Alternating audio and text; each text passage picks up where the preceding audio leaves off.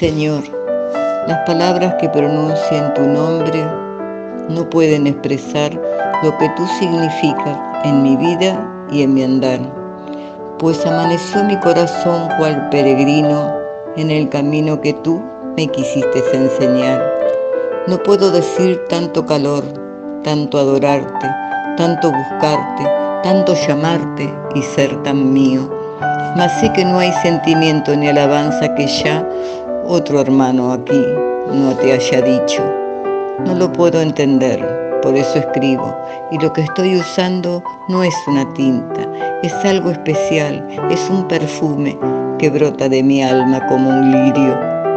Mi sentir no tiene fin ni distancia, es intocable, solo brilla en tu forma, Jesucristo.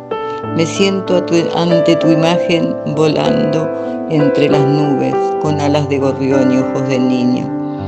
Para pensar en vos es esperar la soledad como algo fascinante, para estar cerca tuyo, abrazarte y caer a tus pies buscando alivio, para sentirte, llamarte, para que respondas y entre sollozos me sorprenda la luz de tu destino.